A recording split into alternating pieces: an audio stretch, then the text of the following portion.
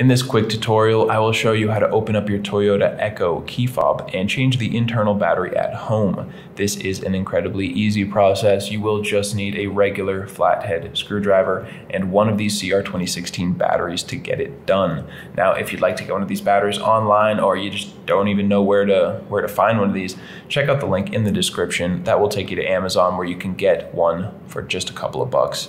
And uh, again, that's the exact battery that you need for this particular device. So go ahead, first step, look up on the top of the device. You can see there is a little slot in the plastic there. We're going to insert our flathead screwdriver into that area and just hold the device loosely in your hand.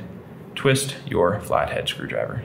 Twist, it will crack open. Now you could just set this back piece to the side.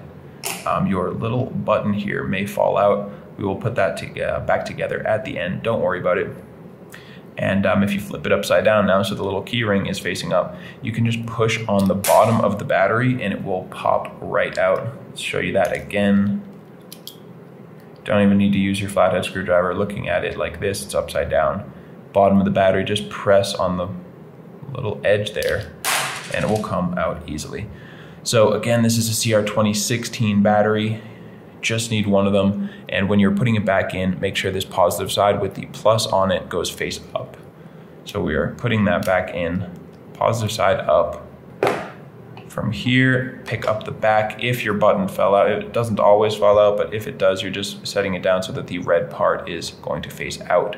So you just put it in, nothing fancy, you just press it in. You can see there's a little button on the back and just set this on top and click the two halves back together that's all it takes. Um, super simple. I hope this helped you out. And if it did, feel free to let me know down in the comments or just by giving this video a like. And if you ever need help changing another battery in any of your key fobs for any maker model, you can check out the rest of our videos here on YouTube or visit us at fobbattery.com.